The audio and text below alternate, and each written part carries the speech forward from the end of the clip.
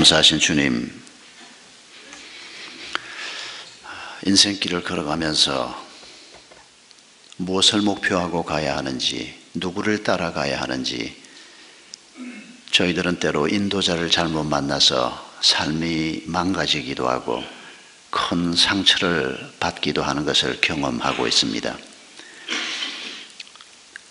예수 그리스도가 우리의 선한 목자 되심을 고백하고 인정하는 믿음을 가지고 있으면서도 때로는 저희들은 선한 목자의 뒤를 따르지 못하고 돈을 따르기도 하고 우리의 욕망을 따르기도 하면서 어려움을 겪을 때도 많습니다. 주님께서는 스스로 저희들을 향해서 말씀해 주셨습니다. 우리 주님이 선한 목자라고 말씀해 주신 것을 감사합니다. 이 시간 저희들이 선한 목자 되신 예수 그리스도를 기록된 말씀을 통해서 함께 나눌 때 성령 하나님께서 저희 한 사람 한 사람의 마음에 예수 그리스도를 나의 가장 선한 목자로 다시 한번 확정하고 받아들일 수 있도록 은혜를 베풀어 주시옵소서. 아직도 예수 그리스도를 유일한 가장 좋은 선한 목자로 받아들이지 못하고 있는 우리 가족들에게 주님께서 더욱더 큰 은혜를 베풀어 주시옵소서. 예수님의 이름으로 기도하옵나이다. 아멘. 지금부터 106년 전인 1910년에 영국의 노먼 에인절이라고 하는 분이 위대한 환상이라고 하는 책을 썼습니다. 어, 이 책은 얼마 있지 않아서 유럽 전체에서 최고의 베스트셀러가 됐습니다. 어, 이책 속에 담긴 위대한 환상, 위대한 꿈이 무엇이었길래 사람들이 그렇게 열광을 했을까? 어, 이 사람은 이렇게 그 책에서 얘기하고 있습니다. 인류 역사에서 이제 더 이상의 전쟁은 있을 수가 없다. 왜냐하면 19세기 아, 후반에 전신, 전화, 철도, 전기선 이런 것들이 발명되기 시작했습니다. 오늘 우리의 눈으로 보면 뭐 별거 아닌 것처럼 보이지만은 인류 역사에서 획기적인 발명품들이 이때부터 쏟아져 나오기 시작했습니다. 그게 없었으면 오늘 우리가 보고 있는 더 진보된 현재 발명품들을 우리가 보지 못하게 됐을 것입니다. 사람들이 흥분하지 않을 수가 없었습니다. 이런 것들이 발명돼서 나오기 시작하면서 이 노먼 에인절 같은 분은 세상이 혁명적으로 변화되고 있다. 국가와 국가 사이에 자본만 이동하는 것이 아니고 상품 교역만 인력만 이동되는 것이 아니고 이런 발, 발전으로 말미암아 나라와 나라 사이의 국경이 낮아지고 수많은 교류가 오고 가고 있는 이런 상황이 만들어지고 있는데 이런 상황에서 전쟁을 한다는 것은 모두가 다 망하는 어리석은 길이 너무도 분명하기 때문에 이제 우리가 더 이상 전쟁은 할 필요도 없고 해서도 안 되고 이제 전쟁이 없는 세상을 만들어 갈 수 있다. 바로 그게 위대한 환상이었습니다. 그런데 안타깝게도 잘 아시는 것처럼 이 책에 수많은 사람들이 열광을 했지만은 얼마 있지 않아서 세계 제1차 대전이 터졌습니다. 전쟁이 얼마나 컸으면 세계 대전이라고 붙였겠습니까? 그리고 얼마 있지 않아서 2차 세계 대전이 터졌습니다. 여러분, 옛날 얘기긴 하지만은 이런 고사를 읽을 때마다 참 마음이 먹먹해집니다. 그 시대에 살았으면 우리도 이 환상에 함께 마음을 모았을 것입니다. 이런 것들이 발달이 되고 나라와 나라 사이에 교역이 이루어지고 인력이 왔다 갔다 하게 되고 이전에 땅 따먹기를 하기 위해서 서로 피를 흘리고 싸우던 나라들이 이제 함께 잘 살아보자. 그래서 전쟁 없는 나라를 세상을 한번 만들어 보자. 근데 그 꿈은 결코 이루어지지 않는 꿈이었습니다. 여러분, 수많은 사람들이 전쟁 없는 세상, 평화로운 세상, 모든 사람들이 함께 잘 살 수 있는 세상을 꿈꾸고 있습니다. 그러나 이런 세상은 여전히 모든 사람에게 멀고 먼 당신 같아 보입니다.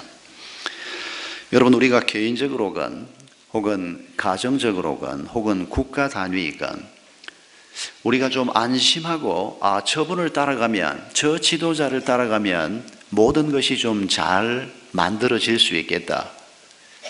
아, 그렇게 느껴지는 지도자가 과연 어떤 사람일까요? 우리의 자녀들이 어떤 지도자를 만나면 내가 얻지 못한 평안을 누리고 살고 좀 안전하게 복되게 인생을 살 수 있을까? 우리 모두가 바라는 것 아니겠습니까? 우리 예수님께서는 오늘 우리가 읽은 본문에서 자신을 선한 목자라고 주장하고 계십니다. 그리고 내가 너의 길을 인도할 테니까 너희가 나와 함께 길을 가자라고 제안하고 계십니다. 예수 그리스도가 우리의 목자가 되셔서 우리가 그분과 함께 길을 걸어간다면 우리에게, 우리의 자녀들에게 이 세상 어디에서도 얻을 수 없는 안전과 평화와 기쁨과 행복과 거룩이 주어질 것이라고 주님은 말씀하고 계십니다. 목자라고 하는 말은 우리에게는 별로 익숙한 말은 아닙니다. 교회를 다니다 보면 이 말이 익숙한 말이 되긴 합니다만은 또 오늘도 우리가 목자라고 하는 이름으로 여러분을 세우는 일을 했습니다만은 사실 정직하게 정확하게 표현하면 우리는 목자는 아닙니다. 목사도 교역자도 장로 권사도 어떤 목자도 목자는 아닙니다. 목자는 오직 예수님 한 분밖에 없습니다. 아, 우리는 목자란 말을 쓰긴 씁니다만은 왜 쓰는 거 하니까 신약 교회를 세우고 하나님께서 이 교회에 직분을 주시면서 이 목자라고 하는 직분을 주셨습니다. 그래서 여러 가지 이름으로 직분을 세우고 목자 역할을 하지만은 그러나 예수 그리스도 외에는 진정한 목자는 없습니다. 사람을 세울 수 있는 분도 예수 그리스도시고 사람의 마음을 바꿀 수 있는 분도 예수 그리스도시고 우리는 그분을 곁에서 돕는 목자 보조라고 말할 수가 있습니다. 그런데도 불구하고 주님께서는 우리를 목자라고 칭해 주신 것 또한 은혜가 아닐 수가 없습니다. 사무엘상 17장에 보면 다윗이 아직 어린 소년이었을 때 형님들이 전쟁을 하고 있는 전쟁터에 가게 되는 얘기가 나옵니다. 아버지 심부름으로 형님들이 전쟁터에서 무사한지 안부를 묻기 위해서 갔다가 그 전쟁터에서 골리앗이 이스라엘을 대표하는 전사로 싸우게 된 것을 여러분 기억하실 겁니다. 골리앗이라고 하는 키가 2미터가 훨씬 넘는 당대의 최강이라고 불리웠던 적장이 이스라엘을 모욕하는 얘기를 들으면서 아직 한 중학교 한 2학년, 3학년 키가 아직 다 자라지 않은 이런 나이의 다윗이 분격하게 됩니다. 어떻게 저자가 하나님의 백성을 모욕하고 어떻게 하나님의 이름을 모욕한단 말인가? 아직 소년이었던 다윗이 그런 말을 할 때 주변 사람들은 이놈이 뭘 알지도 못하면서 이 조그마한 녀석이 아직 애에 불과한 네가 어디다 대고 그런 소리를 하냐고 다들 나무랐습니다. 그런데 다윗의 마음에 그런 도전을 주신 분은 하나님이었습니다. 결국 다윗이 왕 앞에 갑니다. 왕으로서는 그때 왕이 사울 왕이었습니다. 나중에 다윗의 장인이 되는 분인데 왕으로서는 지금 어찌할 바를 몰랐습니다. 너무도 강한 적장이 나타나서 온 백성을 모욕을 하는데 하나님을 모욕하는데 어떻게 할 길이 없었습니다. 그런데 이 어린 소년을 지금 저 사람하고 싸우도록 내보내야 하는가 이런 고민을 하고 있는데 그때 사무엘상 17장에서 다윗이 이런 말을 합니다. 다윗이 사울에게 말하되 주의 종이 아버지의 양을 지킬 때에 사자나 곰이 와서 양떼에서 새끼를 물어가면 내가 따라가서 그것을 치고 그 입에서 새끼를 건져내었고 그것이 일어나 짐승들이 일어나 나를 해하고자 하면 내가 그 수염을 잡고 그것을 쳐 죽였나이다. 아버지의 양떼를 지키기 위해서 목숨을 걸고 사자나 곰과 싸웠다는 겁니다. 아, 이런 일이 가능했을까? 그것도 아직 어린 나이인데, 뭐 초등학생쯤 되는 아이가 사자나 곰이 양을 물어가는데 따라가서 그걸 기어이 싸워서 그 입에 있는 양을 뺏어온다? 도망가 버리고 말지 어떻게 그럴 수가 있을까? 우리가 이런 생각을 할 수밖에 없습니다만은 그러나 다윗은 선한 목자로서 충직한 목자로서 아버지의 양을 지키기 위해서 어린 시절에 그런 실험을 했던 것을 고백하고 있습니다.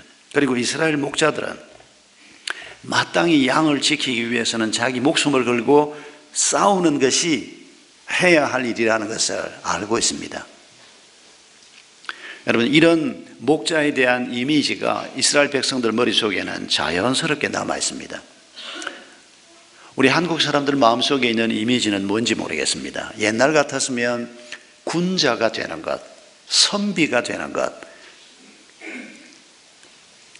뭐 그 이전에는 또 어떤 모습이었을지 모르겠습니다. 우리 한반도에 사람들이 모여 살면서 우리가 한 민족이다라고 하는 의식을 갖기 시작한 것은 고려 중기 이후라고 합니다. 우리는 오늘 역사를 배우면서 신라 백제 고구려가 다 우리 조상들이니까 그 조상 나라들이 서로 잘 지냈으면 참 좋을 법했다고 생각하지만은 그 시대 분들은 한 나라가 아니었습니다. 전혀 다른 나라였습니다. 이 나라가 고려로 통일이 되고 그것도 역사가 100년, 200년 지나가면서 고려 중기쯤 됐을 때부터 아, 이제 우리가 한 나라 백성으로 살아야 하고 우리가 하나구나 하는 의식이 그때부터 자리를 잡기 시작했다는 글을 우리가 읽게 되는데 한국인으로서 우리 마음속에 그리는 마치 이스라엘 백성들이 선한 목자 그러면 아버지의 양을 지키기 위해서 어린 소년이라도 목숨을 걸고 싸우는 이런 그림처럼 말입니다. 한국인으로서 우리가 떠올려 볼 수 있는 그림들 감사하게도 꽤 많이 있습니다. 최근에 명량이라고 하는 영화를 통해서 이순신 장군 얘기가 새삼 화면을 통해서 우리 앞에 엄청 큰 모습으로 다가왔습니다만은 불과 12척의 배를 가지고 엄청난 일군에게 맞섰던 그리고 그 전쟁을 승리로 이끌었던 이런 모습도 우리에게는 선한 목자라고 하는 그림과 크게 다르지 않습니다. 여러분, 이순신 장군처럼 나라를 지키는 사람, 어린 소년이었지만은 아버지의 양을 지키기 위해서 목숨을 거는 목자. 그게 바로 나다. 예수님이 지금 이런 얘기를 하는 겁니다. 그런데 이순신도 죽었고 다윗도 실패하다가 회복은 됐지만 결국 이 땅에 없는 더 이상 우리를 도울 수 없는 존재인 것을 아시는 그분이 나는 선한 목자라고 말씀하실 때 어떤 의미에서는 완전한 목자, 실패가 없는 목자, 가장 완벽하게 너희들을 도와줄 수 있는 목자다. 이런 의미로 우리 주님께서는 선한 목자라고 하는 표현을 쓰고 있는 것을 볼 수가 있습니다. 왜 우리 주님이 선한 목자라고 주장하고 있습니까? 오늘 본문에서 우리가 그 이유 두 가지를 발견할 수가 있습니다. 하나는 자기는 양을 위해서 목숨을 아끼지 않는 선한 목자라는 것입니다. 그리고 또 하나는 목자인 자기는 양을 잘 안다는 것입니다. 이 두 가지 말을 우리가 마음속에 담기를 원합니다. 오늘 본문 11절에 보면 나는 선한 목자다. 선한 목자는 양들을 위해서 목숨을 버린다. 근데 이 말이 짧은 글 속에 세 번이나 반복되는 것을 볼 수가 있습니다. 15절에 나는 양을 위해서 목숨을 버린다. 그리고 17절에서도 내가 내 목숨을 버리는 것은 이렇게 계속 반복하고 있습니다. 그러면서 14절에서 나는 내 양을 알고 양도 나를 안다. 이 말씀이 함께 뒤엉켜 있는 것을 볼 수가 있습니다. 여러분, 예수님께서 내가 내 양을 위해서 목숨을 버린다라고 하는 말은 십자가 사건과 직결되어 있는 것을 아실 수 있을 것입니다. 이 말씀을 하신 얼마 후에 예수님께서는 예루살렘에 가셔서 십자가에 달려 돌아가십니다. 여러분, 왜 예수님이 십자가를 지셨어야 했습니까? 다른 길은 없을까요? 예수님이 그렇게 십자가에 달려 돌아가시지 말고 그 시대 사람들이 원했던 것처럼 그 엄청난 능력을 가지고 이스라엘의 왕이 되셔서 로마를 쳐부수고 수많은 백성들을 굶주림과 고통 속에서 건져내는 일을 하셨으면 안 될까요? 예수님이 만약에 이스라엘의 왕이 되겠다고 나섰으면 수많은 부자들이 돈을 낼 것이고 수많은 사람들이 병사로 나설 것이고 예수님을 가까이에서 지켜보았던 수많은 사람들이 예수님이 왕이 되어달라고 열광하고 있지 않았습니까? 수많은 사람들이 목숨을 걸고 함께 따라 나섰을 텐데 왜 예수님께서는 그걸 마다하시고 십자가의 길을 걸어가셨을까? 여러분 이 질문은 신앙생활을 하면서 우리가 수도 없이 해봤던 질문일 것입니다. 그런데 수도 없이 이런 질문을 해봤으면서도 아직 답을 찾지 못하고 있는 분들도 우리 가운데 많이 계실 것입니다. 뭘 보면 알 수 있습니까? 신앙생활을 한다고 하면서 예수님께서는 걸어가지 않았던 길을 예수의 제자로서 걸어가려고 하는 사람들이 많이 있습니다. 예수님은 왕이 되달라는 부탁도 거절하셨고, 예수님께서는 이 나라를 살릴 수 있는 권자에 앉으시면 우리가 힘을 합해서 당신을 돕겠습니다. 라고 하는 수많은 사람들의 응원도 거절하셨습니다. 그런데 그리스도의 제자라고 주장하는 사람들이 이런 높은 지위를 탐하고 돈이 많이 모여서 그 돈을 가지고 뭔가를 할 수 있다고 생각하면서 움직이는 여러분, 그건 그리스도의 길이 아닙니다. 우리 주님도 돈을 안 쓰신 건 아닙니다. 우리 주님 제자 그룹에서 재정 책임자가 있었던 것을 보면 여러분 그분이 가론 유다였습니다. 분명히 누군가가 돈을 냈습니다. 누가 어떻게 돈을 냈는지에는 보험세 언급되지 않았습니다. 그냥 회개가 있었습니다. 짐작컨대 사람들이 아, 예수님 예루살렘 가실 때 뭐 좀 뭐 좀 쓰십시오 하고 봉투를 주신 분도 있었던 것 같고 돈이 어떻게 염출됐는지 모르지만은 예수님도 뭐 뭘 좀 내셨는지 제자들이 뭘 좀 냈는지 예수님도 돈이 필요했습니다. 예루살렘에 왔다 갔다 하려고 하면 밥 먹어야죠. 어디선가 주무셔야죠. 왜 돈이 필요 없었겠습니까? 그러나 우리 주님이 보여주신 입장은 너무도 분명합니다. 돈으로 할 수 있는 일이 있지만은 주님이 하려고 하는 일이 돈으로 이루어지는 일이 아니라는 것입니다. 주님이 하려고 하는 일이 왕이 된다고 해서 이루어지는 일이 아니라는 것입니다. 주님은 우리를 너무도 잘 알고 있습니다. 우리의 문제가 돈 있으면 해결되는 문제, 출세하면 해결되는 문제, 몸만 건강하면 해결되는 문제가 아니라는 것을 주님은 정확하게 보고 계시는 것입니다. 우리의 문제는 하나님을 떠나 있기 때문이라는 것입니다. 우리를 지으신 하나님, 나를 가장 빛나는 존재로 만들어 주실 하나님, 나를 가장 사랑하시는 하나님을 우리가 아버지로 모시지 못하고 나 혼자 길을 걸어가고 있기 때문에 죄 가운데 있기 때문에 우리의 문제가 풀리지 않는다는 것을 우리 주님은 알고 계시기 때문입니다. 그래서 우리 주님께서는 우리의 죄값을 치르기 위해서 자신의 목숨을 죄값으로 지불하는 이 십자가의 길을 가지 않고는 선한 목자가 될 수 없다는 것을 그리고 양인 우리에게 기쁨과 행복과 안전을 줄 수 없다는 것을 우리 주님은 너무도 정확하게 알고 계셨습니다. 그래서 우리 주님께서는 이 길을 갈 수밖에 없었고 하나님은 이런 계획 속에서 구원의 길을 여셨는데 어리석게도 사탄은 오판을 했습니다. 예수 그리스도가 이 땅에 와서 말씀을 전하시고 수많은 사람들이 예수님의 말씀 앞에서 흥분하고 변화되기 시작하는 것을 보면서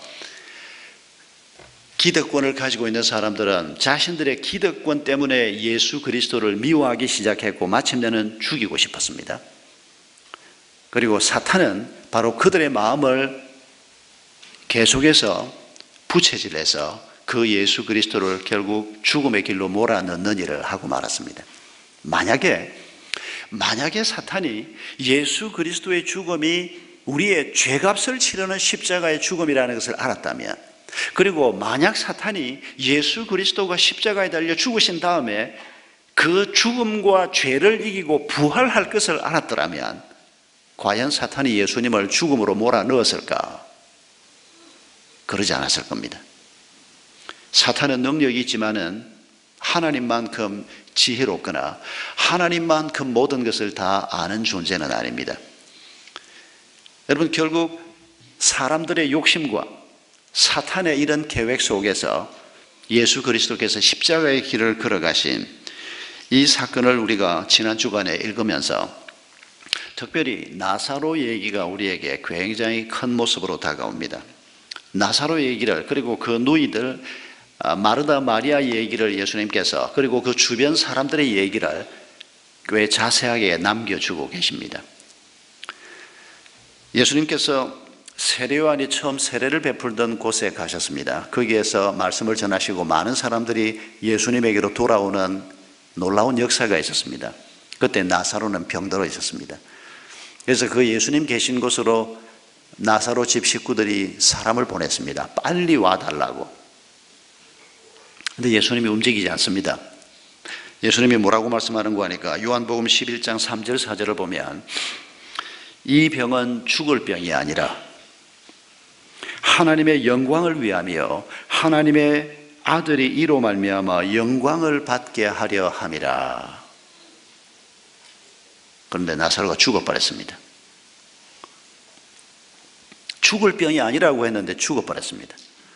예수님께서 넛장을 부리시면서 나사로의 집에 도착했을 때 나사로는 벌써 죽은 지 나흘이 지났습니다. 더운 지방이니까 시체에서 벌써 냄새가 나기 시작하는 이런 상황에 예수님이 나사로의 집에 도착했습니다. 마르다 마리아가 어떤 모습을 보입니까? 이분들은 예수님의 제자들입니다. 열두 제자 속에 포함되어 있지는 않지만은 또 예수님이 움직일 때 항상 함께 동행했던 제자 그룹 속에 들어있지는 않았지만은 이분들은 명백하게 예수님의 제자 그룹에 조금 멀찌감치 있던 제자 그룹에 속해 있던 분 중에 한 분들입니다. 그런데 이분들은 예수님이 우리 집에 오빠가 살아있을 때만 오셨으면 내 오빠가 죽지 않았을 텐데 이런 생각을 가지고 있었습니다. 예수님을 그 정도로 생각해 주는 것만도 작은 믿음은 아닙니다. 그러나 이분들 마음속에 안타까움이 있었습니다. 왜 예수님이 좀 더 빨리 와주지 않았나? 예수님께서 네 오빠가 살 것이다. 그랬을 때 마리아가 이렇게 대답한 거 기억하십니까? 예. 부활의 날에 오빠가 살아날 것을 믿습니다. 보통 믿음이 아닙니다. 예수님께서 뭘 가르쳤고 그가 뭘 배웠는지 모르지만 장차 모든 사람이 부활하는 그날에 오빠가 살아날 것은 믿는다는 것입니다. 그런데 이미 오빠는 죽었습니다. 어떤 사람들은 마리아 마르다가 이때 너무 믿음 없다고 얘기하지만은 제가 보기에는 아닙니다. 예수님이 나사로를 살리실 것을 누가 알았겠습니까? 아무도 알 수 없습니다. 누가 그 자리에 있었어도 아무리 믿음이 좋은 사람이 그 자리에 있었어도 예수님께서 지금 이 사람 내 오빠를 일어나라 그러면 일어날 수 있지 않겠습니까? 여러분 그건 정말 상상하기 어렵습니다. 그러나 예수님께서는 그 상황 속에서 그리고 유대인들이 예수님을 비난하는 음성도 들렸습니다. 아니 그렇게 친하게 지내더니 그렇게 예수님께서 총애하던 나사로라고 하는 사람이 이렇게 죽었는데 왜 그가 빨리 와서 그 나사로를 살리지 못했단 말이냐? 정말 저 사람이 자기가 주장하는 대로 메시아가 맞냐? 이런 분위기 속에서 예수님께서 눈물을 흘리고 우셨습니다. 신약 성경에 예수님이 우신 기록이 세 번 나옵니다. 예수님이 웃으셨다라고 하는 기록은 없습니다. 기록이 없다고 예수님이 웃지 않았을까요? 아닙니다. 아, 예수님이 사람들하고 밥 먹는 거 좋아하고 사람들하고 함께 있는 자리를 굉장히 많이 찾으셨습니다. 예수님이 가는 곳마다 웃음은 싹 없어지고 다들 슬퍼하고 다들 진지한 얼굴로만 있었을까요? 결코 그렇지 않았을 겁니다. 그런데 신약 성경이 표현하고 있는 예수 그리스도의 발자취를 보면 결국 십자가를 향해서 가고 있는 겁니다. 그리고 그 속에 수많은 사람들이 너무도 연약하고 너무도 어리석고 그 예수 그리스도를 누군지 알지 못해서 그 사람들의 모습이 복음서에 드러나는 걸 보면 우리가 진지해지지 않을 수 없는 심각해지지 않을 수 없는 그래서 예수님의 모습이 이렇게 기록되지 않았을까 하는 생각을 해봅니다. 여러분, 예수님께서 무덤 문을 열고 돌문을 열고 나사로야 나오너라 라고 말할 때 몸을 장례를 위해서 칭칭 감아 놓았는데 그 감겨져 있던 몸 그대로 나사로가 걸어 나오는 놀라운 일이 벌어졌고 그때 정인들이 한두 사람이 아니었습니다. 마르다 마리아는 물론이고 그 주변 유대인들이 수많은 사람들이 그 광경을 지켜보았습니다. 여러분, 이 사건이 의미하는 바가 무엇입니까? 나사로 결국 죽었습니다. 그러나 그 나사로를 살리시는 이 주님의 사건이 의미하는 바가 무엇입니까? 예수 그리스도는 스스로 죽음을 이길 수 있는 분이요. 죽음을 다스리는 분이시요. 생명의 주장자라는 것을 보여주시는 겁니다. 예수님의 부활은 단순한 부활이 아닙니다. 그분만이 이 세상에서 죄를 다스릴 수가 있고 죽음을 이길 수 있는 분이라는 것을 보여주시고 그분을 목자로 삼고 그분의 양으로 사는 사람들 또한 죽음을 이기는 자로 죽음을 갖다 주는 죄를 이기는 자가 되도록 선한 목자 되신 예수 그리스도가 도울 수 있다는 것을 우리에게 이렇게 놀라운 방식으로 보여주시는 것입니다. 여러분, 오늘 우리의 마음을 짓누르는 문제들이 어떤 것입니까? 뭐 생각만 해도 끔찍하고 인생에서 두 번 겪기 어려운 그런 아픔을 지금 이 순간 겪고 있는 분들이 있습니까? 뭐 특별한 문제는 없지만 하루하루 사는 게 지겹고 별로 기쁨도 없고 분명히 하나님이 계심을 믿는데도 그 믿음이 우리의 삶의 활력소가 되지 못해서 답답한 신앙생활을 하시는 분들이 있습니까? 여러분 오늘 우리의 상황이 어떠하든지 간에 우리 주님은 우리를 너무도 잘 아시는 분이십니다. 그리고 그분은 우리를 도우려고 하시는 분이십니다. 그분이 선한 목자가 되시고 우리가 그분의 양이 돼서 선한 목자의 인도함을 따라 우리가 길을 걸어가면 오늘 우리의 삶은 하루하루 날마다의 삶이 기쁨의 삶이 될 것입니다. 감사의 삶이 될 것을 주님께서 우리에게 약속하고 계시는 것입니다. 한 5년 전만 해도 세계적인 베스트셀러였던 기욤 뮤소의 구해줘라고 번역된 소설이 있습니다. 세계적인 여배우가 되는 꿈을 안고 조국 프랑스를 떠나서 헐리우드로 갔던 젊은 여성 얘기가 있습니다. 그러나 그녀는 할리우드에서 배우가 되지 못하고 커피숍 알바를 하다가 결국 낙심하면서 다시 고향으로 돌아가는 그런 여성 얘기가 있는가 하면 어떤 한 의사는 너무너무 좋아하는 여자를 만났습니다. 행복한 결혼을 했습니다. 그런데 그 아내가 그만 일찍 죽어버렸습니다. 아내를 잃고 난 다음에 너무도 비통해 하던 이 남자가 매일 아침 출근길에 아내의 무덤에 들러서 그 아내의 무덤을 넋을 잃고 바라보고 있다가 하루 일과를 시작하는 아, 이런 젊은 한 청년의 얘기도 나옵니다. 너무도 사랑했던 아내를 총기 사고로 잃어버리고 삶이 엉망으로 꼬여버린 경찰 얘기도 거기에 등장합니다. 다섯 살에 엄마를 잃고 고아가 된 후에 열다섯 살에 마약 중독자가 된 어린 소녀 얘기도 나옵니다. 여러 가지 등장인물들이 나오는데 여러분 여기에 기록되어 있는 인물들은 우리 주변에 아니 나를 포함해서 우리 주변에서 쉽게 볼 수 있는 그런 사람들입니다. 근데 이 사람들에게 공통점이 있는데 그건 뭔가 하니까 소중한 걸 누리지 못하고 살고 있는 겁니다. 뭔가를 잃어버린 사람들입니다. 고통 가운데 있는 사람들입니다. 아니, 직업이 의사도 있고 젊은 사람도 있고 다양한 사람들이 있는데 그런데 그 속에서 젊음으로도 해결이 되지 않고 사랑의 열정으로도 해결되지 않고 어떤 것으로도 해결되지 않고 인생의 소중한 걸 잃어버리고 고통받고 있는 이런 다양한 사람들 얘기가 기록되어 있습니다. 그런데 이 소설의 클라이막스는 15살짜리 고아 마약 중독자인 이 아이가 테러범에 인질이 됩니다. 그러면서 공원에 있는 수많은 사람들을 죽이기 위해서 이 15살 먹는 아이 몸에다가 폭탄 조끼를 입혀놓고 이 아이 몸을 산산조각으로 만들면서 수많은 사람을 죽이려고 하는 이런 악당들이 등장을 하고 그리고 이 아이가 온몸에 폭탄을 들고 사람들을 향해서 제발 나를 좀 살려주세요, 구해주세요 하고 고함을 지르는 이 장면이 이 소설의 클라이막스가 아닌가 생각이 됩니다.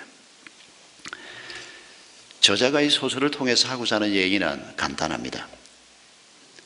수많은 사람들이 살고 있지만은 폭탄을 가슴에 두른 이 어린 여자아이만이 아니고 수많은 사람들이 도움을 기다리고 있다는 것입니다. 지금 살고 있는 그 자리에서는 도저히 기쁨도 없고 해결책도 없고 도와달라고 고함을 지르는데 도울 수 있는 사람이 과연 누구냐? 그런 메시지가 이 소설이 우리에게 전해주는 메시지입니다. 여러분, 우리 예수님께서는 도와주세요라고 하는 이대로 살아서는 희망이 없습니다. 기쁨도 없고 평화도 없습니다. 도와주세요라고 부르짖는 이 세상 사람들의 상황을 그리고 해결책을 정확하게 알고 계시는 분이십니다. 하나님께로 나아가야 한다는 것입니다. 하나님의 백성이 되어야 한다는 것입니다. 하나님이 내 아버지가 되고 예수 그리스도가 우리를 인도하는 선한 목자가 되는 이 길이야말로 우리가 걸어가야 할 길이라는 것입니다. 이 길로 나오지 않으면 우리에게는 어떤 문제 해결도 있을 수가 없다는 것입니다. 그리고 우리가 안고 있는 문제의 양상은 좀 다르겠지만은 그 문제 속에서 결국은 외롭고 고통당하고 슬퍼하고 안타까워하면서 하나님이 우리에게 약속하신 이 풍성한 삶, 우리에게 생명을 주시고 그 생명이 생명을 풍성하게 누리려고 하는 이런 하나님의 약속은 우리에게 이루어지지 않는다는 것입니다. 여러분, 우리는 가끔 이런 하나님 얘기를 들으면 내가 그런 하나님을 어떻게 좀 더 잘 알고 그분과 친해질 수 있을까에 대해서 절망적인 생각을 갖는 분들이 있습니다. 먹고 사는 것 바쁘고 지금 당장 이런저런 일을 해야 하는 게 너무 많은데 내가 어떻게 하나님하고 더 친해질 수 있고 어떻게 해야 내가 그 하나님이 나의 선한 목자가 되시고 그분이 나를 보호하고 내가 안전함을 누리고 살 수 있을까? 그리고 이런 생각을 할 때 주로 우리는 어떤 생각을 먼저 하는 거 하니까 내가 양이 목자를 아는 것처럼 내가 하나님을 좀 더 잘 알아야 하는데 그 하나님을 내가 알려고 해도 내가 신학교를 갈 수도 없고 뭐 교회가 훈련 프로그램을 하는데도 지금 당장 그런 훈련을 다 받을 수도 없고 내가 하나님을 잘 몰라서 근데 좀 더 잘 알고 싶지만은 잘 알아지지 않아서 이런 고민을 하는 경우가 많습니다. 그러나 여러분 그 고민에는 큰 오해가 있습니다. 여러분 두 살짜리 아기가 엄마 아빠를 잘 알까요? 저도 애들을 키워봤지만은 애들이 말하기 시작하는 한 살, 두 살 사이에 아이들이 아빠 직업이 뭔지 모릅니다. 아빠 이름도 모릅니다. 뭐 아주 똑똑한 애가 혹시 있으면 모를까. 막 돌 지나서 엄마 아빠 하는 아이가 우리 아빠 이름은 박은조입니다.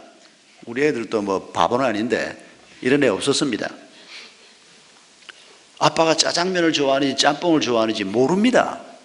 아빠에 대한 정보, 엄마에 대한 정보 한 살짜리, 두 살짜리 아이들에게 조금밖에 없습니다. 그런데 여러분 그 아이들이 엄마 아빠하고 얼마나 친한지를 생각해 보십시오. 우리가 맨날 보는데도 여러분 이 놀라운 광경을 우리가 늘 보고 사는데도 그게 하나님과 나의 관계 적용이 잘 안 됩니다. 예, 하나님에 대한 정보를 많이 갖는 거 필요합니다.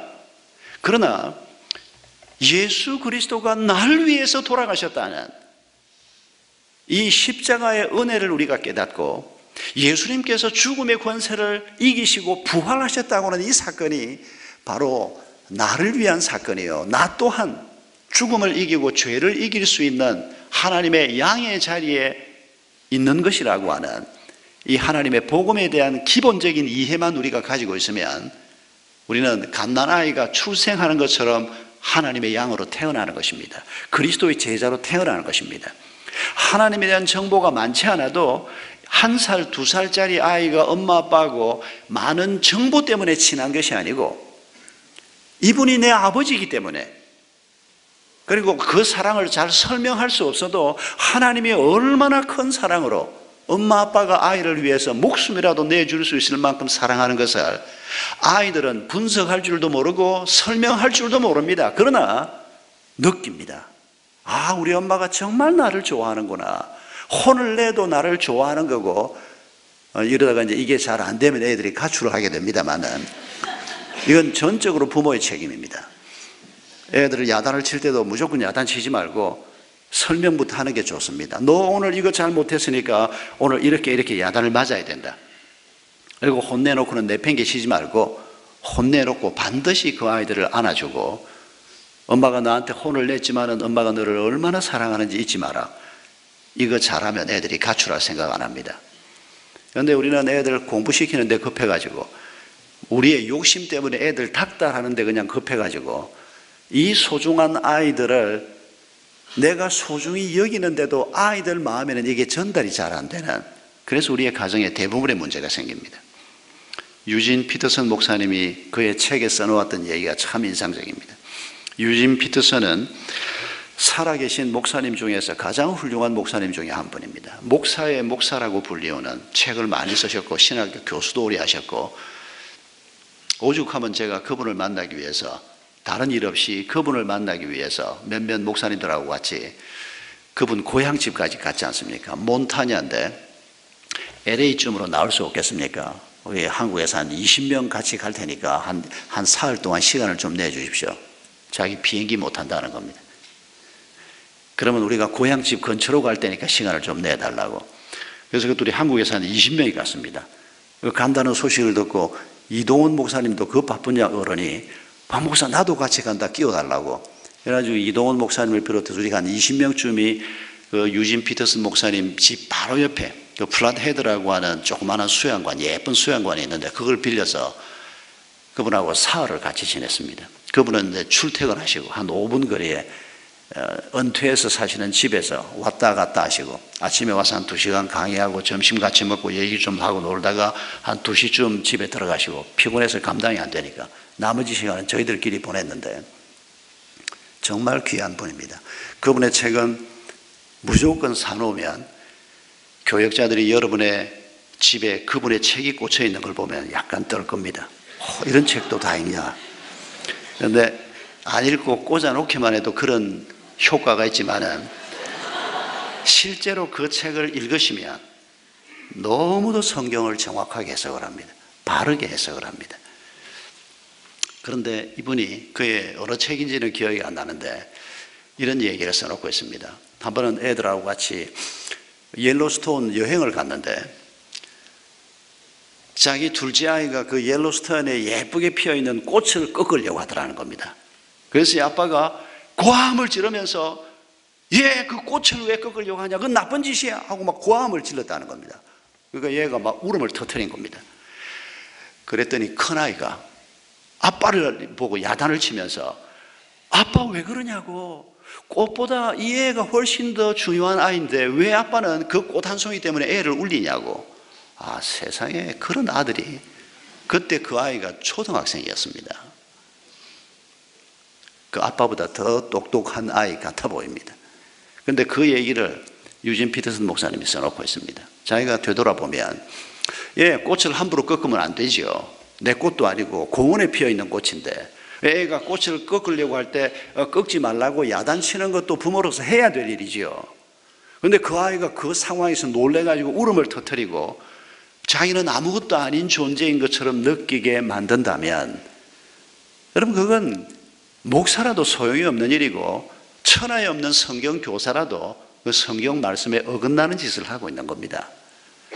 그걸 이분이 나이가 많이 들어서 그 젊은 시절의 얘기를 그의 책에다가 옮겨놓고 있습니다. 하나님의 말씀을 아는데도 우리가 그 하나님의 말씀을 따라 사는 삶이 결코 쉽지 않다는 얘기입니다만은 그러나 우리 주님이 선한 목자가 되셔서 목숨까지 아끼지 아니하시고 나를 사 주시는 그래서 여러분 우리가 굉장히 중요한 존재가 된 겁니다. 뭐 몸값이 비싼 스포츠 스타들을 두고 뭐 얼마짜리다 얼마짜리다 그럽니다만은 여러분 그런 사람들을 우리가 뉴스에서 접할 때마다 절대 기죽으시면 안 됩니다. 아, 뭐 스포츠 스타라는 사람이 뭐 얼마 전에 보니까 그 축구 선수 중에 그 아주 뭐 굉장히 유명한 선수 하나가 자기 동료들한테 선물을 하나씩 나누어 주었는데 제가 지금 기억만 가지고 얘기해서 정확하진 않은데 뭐 엄청나게 비싼 시계 하나에 뭐 뭐 뭐 700만 원, 800만 원 하는 시계를 수십 개를 사 가지고 친구들한테 쫙 돌렸다는 겁니다. 얼마나 돈이 많으면 7만 원짜리도 아니고 700만 원, 800만 원 하는 걸 한두 개도 아니고 자기 팀 선수들한테 다 돌렸다는 겁니다. 몸값이 수천억이나 되는 친구들입니다. 여러분은 얼마짜리입니까? 얼마짜리긴 은퇴하고 지금 뭐 한 달에 뭐 몇 푼 가지고 지금 한 달 생활비도 안 나오는 여러분 우리를 그렇게 규정하시면 안 된다는 겁니다. 그 사람들 그 스포츠 스타들을 얻기 위해서 돈을 지불해서 데리고 왔기 때문에 그 돈만큼 그 사람의 몸값을 얘기하는 겁니다. 우리를 얻기 위해서 우리 예수님께서 지불하신 것이 무엇이라고 얘기합니까? 예수님의 목숨값을 지불하고 우리를 하나님의 양으로 데려왔다고 말하지 않습니까? 여러분 오늘 우리의 처지가 좀 시원찮다고 해도 우리의 형편이 좀 어렵다고 해도 우리 주님께서 우리를 위해 행하신 이 일을 잊으시면 안 됩니다. 여러분 우리는 이 세상에서 가장 비싼 몸값을 치르고 그리스도의 제자가 된 사람들입니다. 그리고 앞으로 우리의 과제는 이렇게 우리의 선한 목자가 되셔서 나를 너무도 잘 아시고 자신의 목숨까지 아끼지 않고 우리에게 허락하신 이분을 어떻게 우리가 잘 따라갈 것인가? 이분이 우리에게 주신 하나님의 말씀, 그리고 거룩하신 영으로 우리와 함께 하시면서 우리를 인도하시는 이 주님을, 이 선한 목자를 어떻게 우리가 잘 따라갈 것인가? 여러분, 이제 봄을 맞으면서 아, 이런 마음을 가지고 여러분께서 말씀을 통해서 훈련을 통해서 공동체를 통해서 선한 목자 되신 예수 그리스도를 좀 더 잘 알고 그분이 우리에게 가장 적합한 길로 인도하시는 이 길을 잘 걸어가시기를 바랍니다. 그리고 한 가지 더 우리의 기도 제목으로 기억하고자 하는 것은 오늘 본문에서 우리 주님께서는 16절, 17절을 보면 우리의 덜지 아니한 양들을 위해서도 자신의 목숨을 버린다는 사실을 언급하고 있습니다. 내가 내 목숨을 버리는 것은 그것을 다시 얻기 위함이니 이로 말미암아 아버지께서 나를 사랑하시느니라. 이게 17절 말씀입니다. 근데 16절에 뭐가 나오는 거 하니까 이 우리의 덜지 아니한 다른 양들이 내게 있어 내가 인도하여야 할 터이니 그들도 내 음성을 듣고 한 무리가 되어 한 목자에게 있으리라. 주님 눈앞에 있는 이 목자들 외에, 이 양무리들 외에 아직도 우리에 들어오지 않은 앞으로 사도들과 초대교회 성도들을 통해서 하나님의 백성이 되고 예수님의 양무리가 될 사람들을 바라보고 계셨던 것입니다. 그리고 세대가 바뀌면서 그리고 복음이 점점 더 전 세계로 확산되면서 오늘 우리까지도 하나님의 우리에 들어올 장래의 양으로 주님은 예견하고 계셨던 것입니다. 여러분 우리가 4월 말쯤에 그리고 가을에 금년에는 두 번 VIP 초청 주의를 하려고 합니다. 이미 목장에서 기도하고 있는 줄 압니다만은 여러분 끊임없이 내가 받은 이 복음이 얼마나 영광스러운 복음이며 그리고 이 복음이 전해지는 것을 우리 주님께서 얼마나 간절하게 원하시는가를 생각하면서 앞으로 한 두 달 후에 우리가 이 VIP 초청 주의를 앞에 놓고 먼저 초청하고 싶은 분들을 위해서 기도하고 그리고 한 한 달 기도한 후에 한 4월 초쯤부터는 이분들과 접촉을 하기 시작하고 그분들을 구체적으로 초청하면서 4월 말 VIP 초청 주의를 우리 밖에 있는 양들 또한 우리 안으로 들어와야 한다는 주님의 마음을 품고 준비할 수 있기를 바랍니다. 주님의 뜻이 2000년 전에 요한과 그 시대 백성들을 통해서 이루어진 것처럼 오늘은 우리를 통해서 이루어지기를 원하십니다. 우리가 그분이 선한 목자 되신 것을 확신하고 우리가 그분의 인도하심을 잘 받으면서 양의 길을 잘 걸어갈 때 오늘 우리를 통해서도 주님의 뜻이 이루어질 것입니다. 우리 함께 찬송하십시다.